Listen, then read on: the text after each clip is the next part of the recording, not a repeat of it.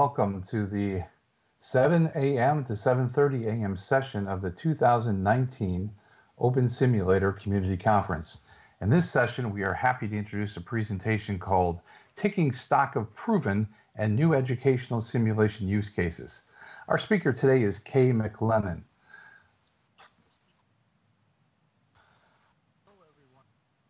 Please check out the website at conference.opensimulator.org for speaker bios, details of sessions, and the full schedule of events.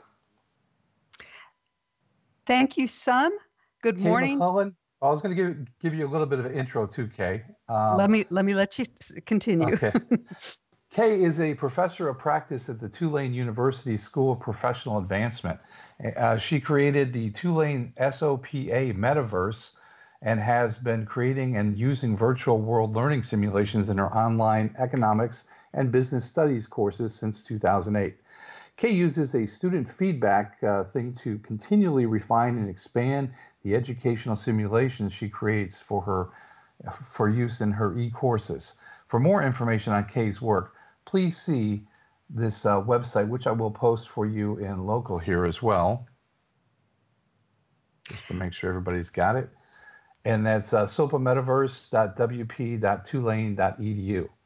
Well, this session is being live streamed and recorded, so if you have questions or comments during the session, you may send your tweets to at OpenSimCC with the hashtag pound OSCC19. Welcome, everyone, and let's begin the session. Okay. Thank you, Sun, and thank you to everyone who is an early bird riser today to attend this session.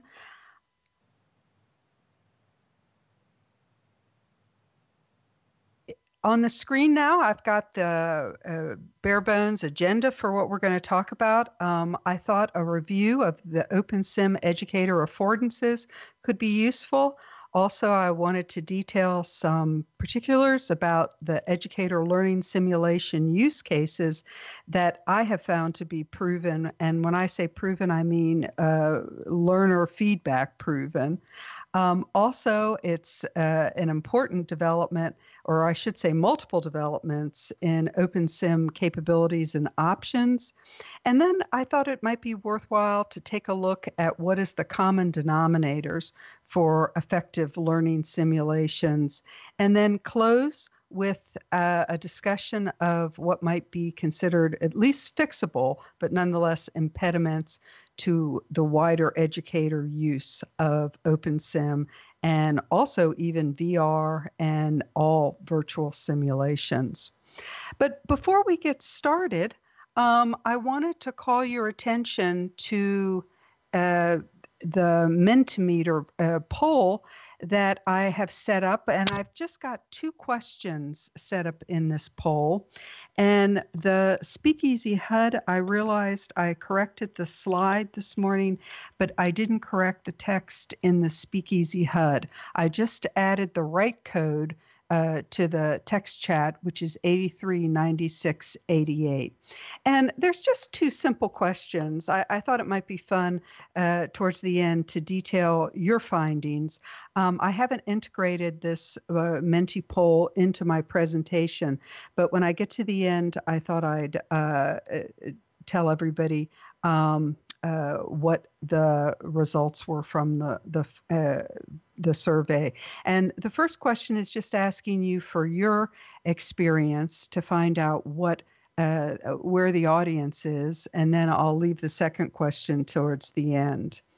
Um, looking first at the educator affordances in OpenSim, I want to start with the bottom line first, which is that the most important affordance is how OpenSim can easily be used by academics or non developers, that is, to create and test simulations. Um, and I'm going to repeat that. Um, uh, OpenSim didn't exactly turn out to be what we all thought it would be, where uh, online classes and uh, online meetings would occur uh, with educators across universities, within universities, in classes.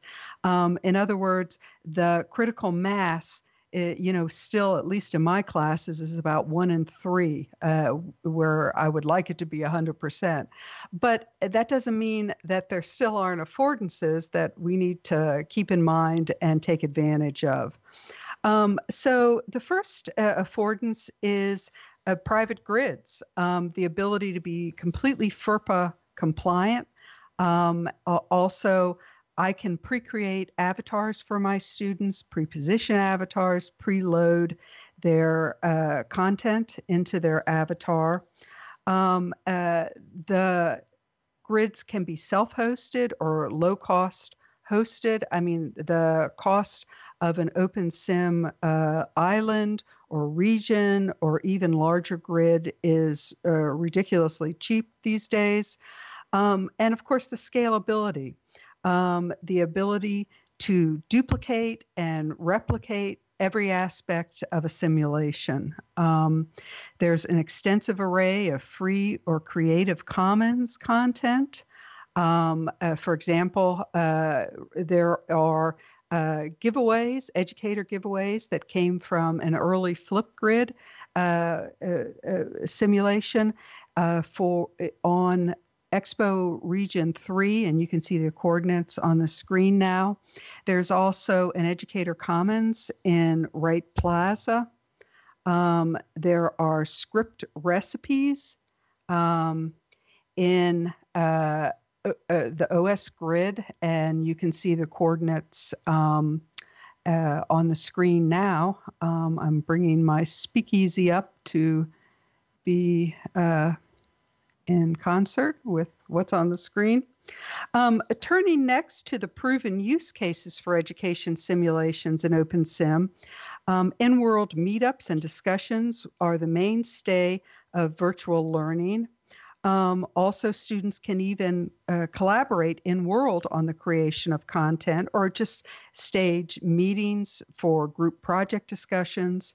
Still, in contrast to the empty building malady characteristic of the early use of Second Life, where colleges and universities built realistic but empty campus buildings, um, there are uh, the sky's the limit options for other types of learning simulations. And again, I, I, can't say this enough. We have only seen the tip of the iceberg when it comes to the types of learning simulations that can be easily staged and, most importantly, uh, learner tested in OpenSim. Um, case studies, role play, and even the use of virtual world sets to make 360 video is possible. Simulated experiences, including experiences that are too dangerous or costly to stage in the real world, can be created in the platform. Uh, on the screen now is my prisoner's dilemma scenario, which is uh, an example of how students can learn in groups about the bias against cooperation in society, and there clearly is nothing uh, more effective than um, learning firsthand or uh, having a demonstration of uh, a, a, particular concept or outcome. Um, content delivery through uh, displays, working slideshows, vocabulary flashcards, and more have proven highly valuable to students. And the types of things that I first put, put in simulations, like slideshows and vocabulary uh, vocabulary flashcards, I, I will confess I just put in as filler in the early days in an OpenSim, and they have turned out to be the most highly rated uh, by my students.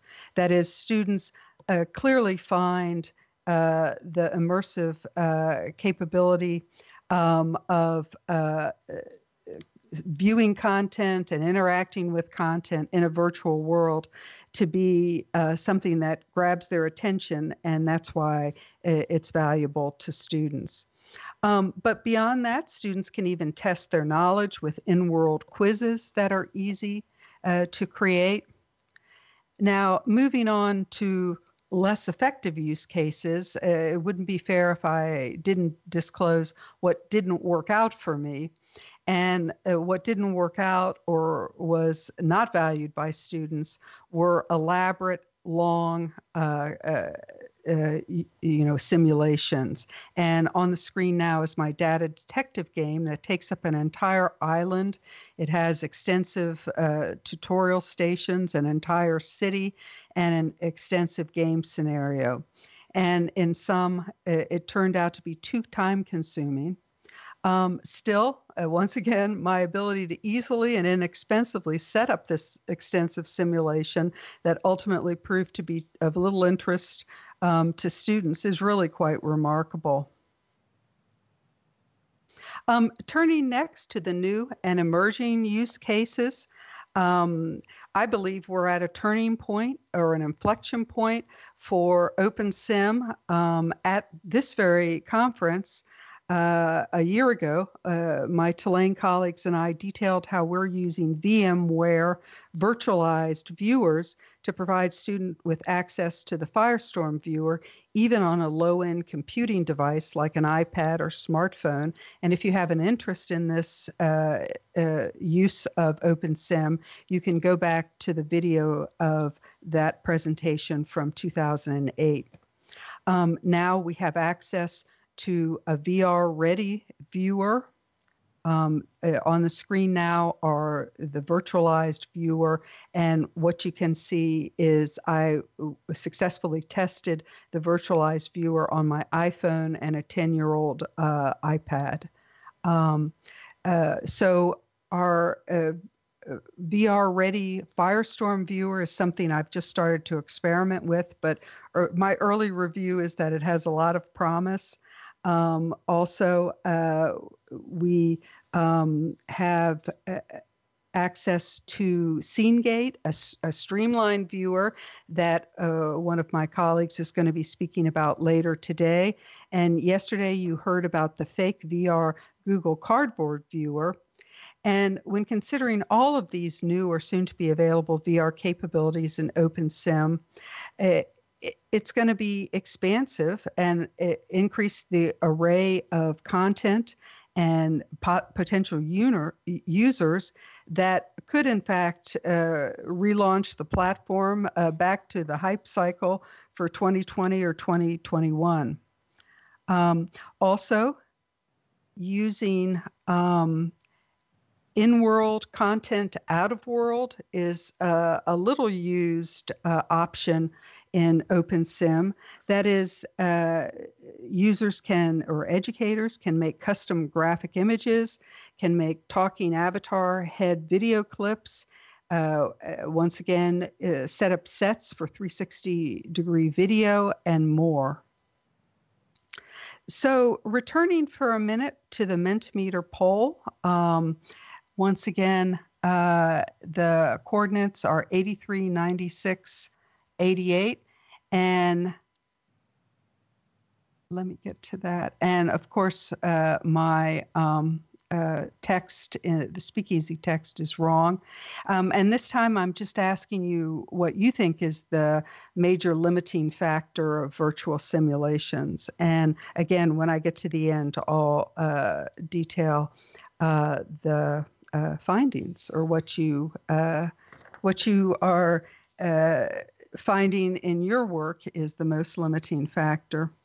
Um, so, with all the affordances and use cases I've detailed, um, uh, the next question is what is it about the different uh, use cases that have staying power that uh, is contributing to w- what is giving them their staying power? And in my view, the main reason for the staying power of the different simulations that I found are extremely useful to students is that students can easily use them, students find them engaging, they find them, uh, and they find that they contribute to their learning outcomes. So I ask them to rate the simulations on engagement, ease of use, and contribution to learning outcomes. So uh, and in terms of the staying power, that's that's it in a nutshell. It's their usefulness to uh, students. Now, of course, institutional culture is another factor. Um, in the past, uh, predominantly on ground chalk and talk faculty or institutions had less interest in virtual learning, but as more and more programs moved online, uh, the use of virtual learning simulations has become of interest. Yet, if a, the culture of a, an institution is focused on what's the latest development or the new shiny technology, proven affordances of platforms like Open Simulator could possibly be passed over. Um, okay. And of, yes. Quick note for you: a lot of us are running into problems with the Menti. It gets after you fill out the first slide, it gets to one that says to refresh, but it won't get past that. Okay, let so. me I, um. Oh, just, it just it just cleared up on mine. I don't know why. Okay, thank you, thank sure. you, Sun, for jumping in. Um, um, so again, uh, the main factor influencing the staying power of virtual simulations is listening to the findings uh, that I've collected with learners. Um, eh, in turn, the first step for being able to ascertain which simulations are valued by learners is to the ability to easily develop and modify simulations in world or the main feature of OpenSim. Um, again, I believe learner tested is the bottom line. So, turning to the challenges of uh, mainstreaming the use of virtual simulations. Um, developing a more robust community of inquiry uh, remains top on my list. Uh, we had the SLED listserv uh, when educators between 2008 and 2010 were mostly in Second Life. Um, and then when Second Life ended the educator discount. A large group moved to OpenSim. And we had a few different listservs that have since uh, dissipated. Um, some of us are on MeWe and in Facebook, but I, I would love to explore with colleagues, you know, uh, developing even more non commercial uh, communities of inquiry. Um, um, viewers are not uh, LTI compliant for our learning management systems. Boy, wouldn't it be nice if we could just walk off the page uh, into a simulation from our uh, Canvas or Blackboard or Desire2Learn uh, learning management systems. Um, I'd like to see more up to date educational turnkey kits with uh, animated mesh, for example. Um, uh, I, I, am saying here overcoming the trough of disillusionment, but perhaps OpenSim has kind of fallen off the uh, hype curve. It would be nice if uh, VR capabilities um, catapult us back onto the trough of disillusionment. Um, I, we use Zoom at my um, uh, institution, and there was a layered application. I think it's called Zoot Up where um, it, you could use your Zoom platform to go into a virtual world. And it made me think that um, it would be nice if uh, we thought about layering applications. That was uh, talked about a little bit last yesterday in um, uh, the uh, uh, discussion about HUDs and um, discourse. You know, layering different uses, um, and of well, course, thanks, Kay. We're, we're going to have to wrap up now because of our time. Um, Thank you. Thank you, Sun. Let me take a look and see uh, if anybody has a question to post in, in chat. Uh, I don't know if we have enough time, Sun, but it uh, looked what we can do is if, if you're willing to meet with them at your booth later, that might be the best way to do that. Or if they want to IM you with their questions, that would be great. Uh, IM me sounds good. Uh, real okay. quick, our experience with virtual simulations 24% in OpenSim, 76% multiple. And uh, the top factors limiting, it's almost a third and a third and a third equipment needed, use difficulty, and faculty setting up. So cost is uh, fell off the uh, scale. Thank you, everyone, um, and thank you to the conference uh, facilitators. Well, thank you, Kay, for a terrific presentation. And as a reminder for our audience, you can see what's coming up on the conference schedule at conference.opensimulator.org. And following this session, the next session begins at 7.30 a.m. in this same keynote region, and it's entitled Echo Voice for Open Simulator. Also, we encourage you to visit the OSCC 19 Poster Expo in the OSCC Expo 3 region to find accompanying information on presentations and to explore the Hypergrid tour resources in OSCC Expo 2 region, along with the sponsor and crowdfunder booths located throughout all of the OSCC Expo regions.